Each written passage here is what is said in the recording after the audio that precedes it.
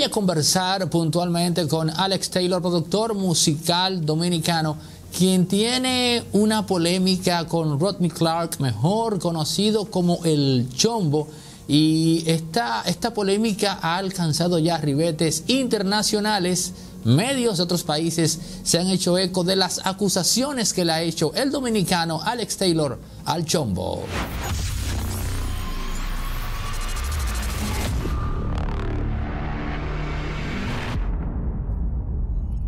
Taylor, ¿qué te mueve a, digamos, tener una especie de debate con una figura establecida en América Latina y arriesgarte al mismo tiempo a que muchos vean esto como un asunto de resentimiento, envidia, como aquello de usar el nombre del chombo como trampolín? Es decir, es mucho a lo que te arriesgas tomando en cuenta que es eh, dudoso lo que obtengas tras este debate.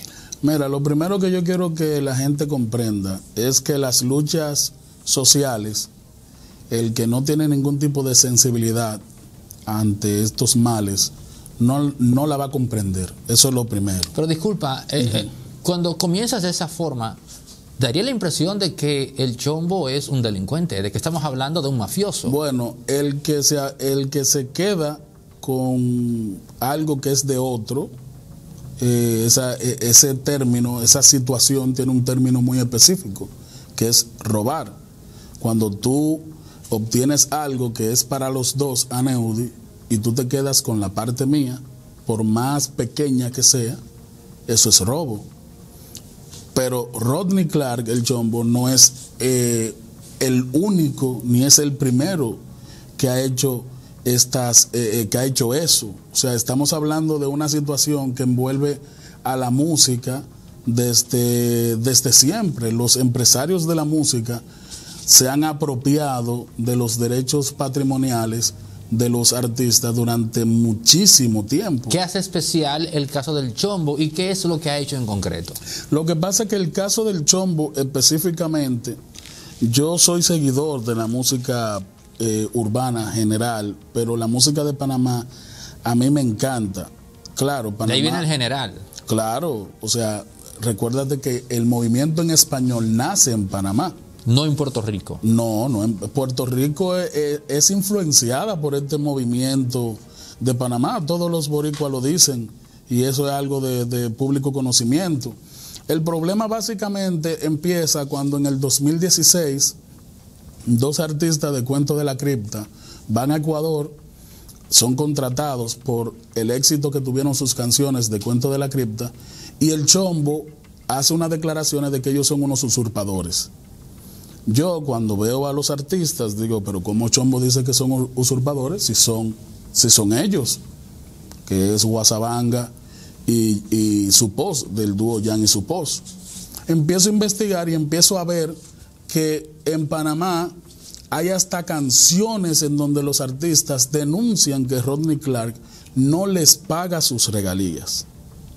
Entonces, empiezo a analizar profundamente, empiezo a ver en Spotify las plataformas y veo que todas las canciones de estos muchachos dicen que es el chombo que la canta. Entonces ahí hay un, una, ahí él está violentando directamente el derecho fundamental que tenemos los seres humanos como, como autores de que a nosotros se nos reconozca por lo menos el derecho moral de la obra, que es decir, que le escribió fulano de tal. Y si bien el chombo está eh, dentro de la producción como productor y como en cierto punto compositor, también estos muchachos son autores y compositores. Pero sería bueno establecer funcionalmente cuáles son las labores de un productor en el caso del chombo, qué es lo que él hace, él pone el dinero. ¿Él acaso contrata al personal que dirige a los muchachos en la confección de la canción? ¿O él se encarga de la distribución del tema? O sea, ¿qué es lo que hace el chombo? Te voy a explicar la dinámica de, de Panamá a mediados de los 90. Se hacía un casting como las productoras que hacían los álbumes eran las mismas disqueras, las mismas emisoras que tenían disqueras y productores, se, ahí se aseguraba la difusión de esos, de esos temas. Hacían un casting. Ahí iba un joven panameño, cantaba una canción. Si gustaba, pues ellos la producían y salía el álbum. Entonces, a ellos le daban 150 cuando daban dinero o 300 dólares. Y estos muchachos, si la canción pegaba, bueno, pues ellos hacían fiestas, no con su nombre, sino como Chombo y Cuentos de la Cripta. En toda parte lo, lo, presentaban como Chombo y Cuentos de la Cripta. Y cuando ¿Pero Chombo cantaba? No, Chombo es un playero, por decirte un, un ejemplo. Pero ¿qué sucede? Como en Panamá estos muchachos no tenían la conciencia total de cómo era el negocio y al negocio abrirse con lo digital, Chombo es parte de los productores que en los 90 hicieron álbumes y cuando pasa lo digital y los streaming, en vez de pasarle derechos a estos muchachos, se quedaron callados, registraron todo como que ellos eran dueños de la obra en totalidad y se quedaron con el dinero que, eso eh, eh, generó vía streaming y ventas digitales. Por ejemplo, tenemos el caso del gato volador, que ha sido, ojo, eh, ha sido interpretada por otras personas, se ha grabado en muchos otros países y en todas partes está registrado como que quien escribió esa canción fue Rodney Clark cuando fue Cracker Jack. ¿Entiendes? Él perdió dos demandas. ¿Quién las perdió? Rodney Clark la perdió con Lorna.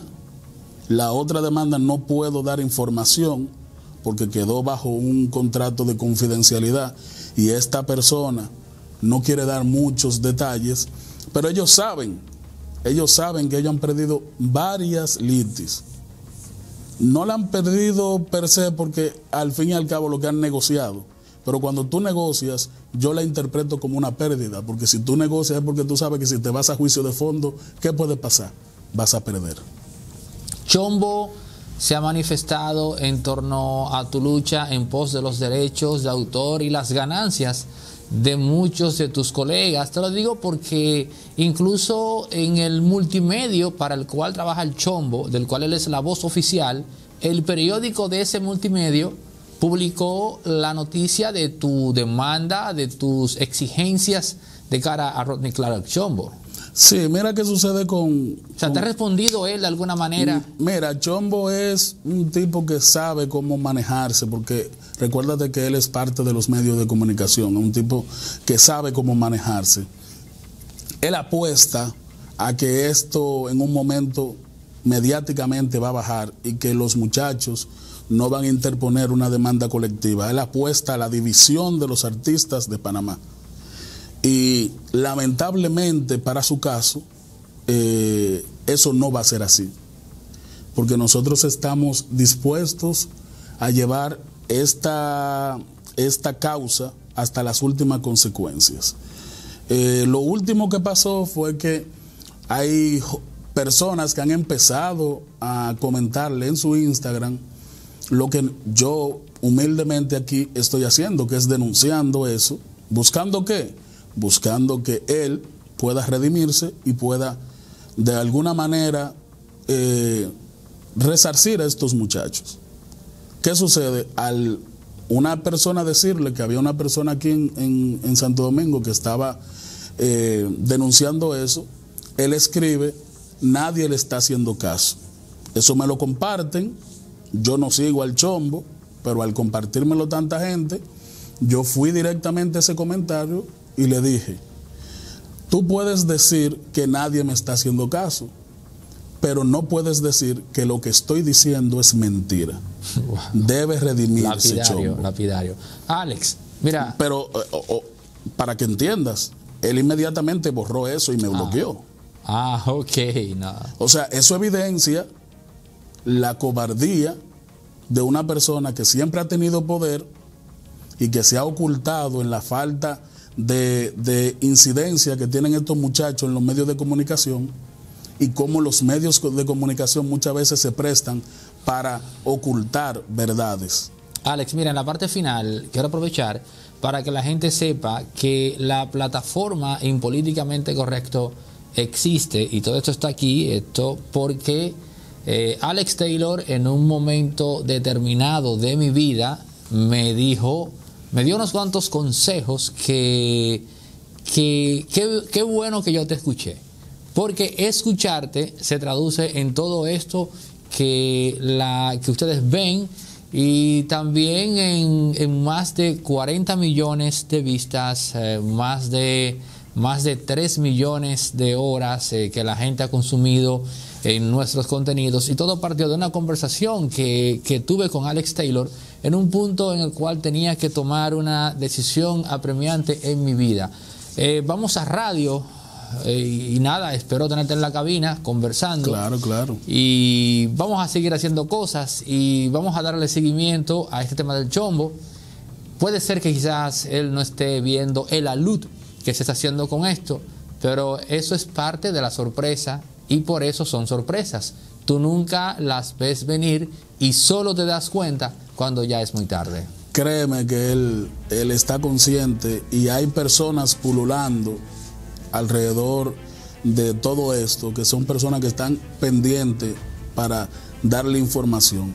Yo por último, lo que quiero hacer es un llamado a Rodney Clark, a la parte humana, a esa parte que, queda de él, que no está sumergida en la mezquindad del el dinero.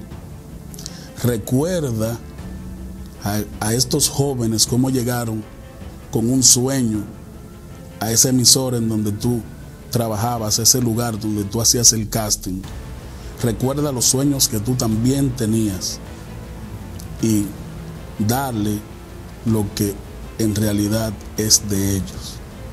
Yo no te pido otra cosa, no quiero otra cosa. Devuélvele lo que es de ellos. Enaltécete, porque mucha gente te quiere, pero inmediatamente la gente conozca tus errores, una gran parte se va a decepcionar. Debes redimirte, chombo.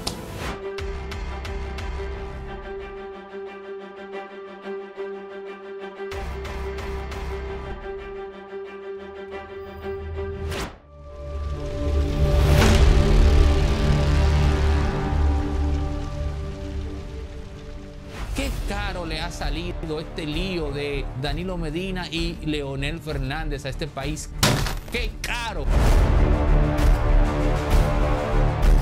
Por un lío tenemos que pagar 11 millones de pendejos. Danilo, dime de Gonzalo. ¿Qué tú vas a hacer con Gonzalo Castillo? Porque se supone que si el PRD está fuera del poder, el líder de la oposición vas a pasar a ser tú.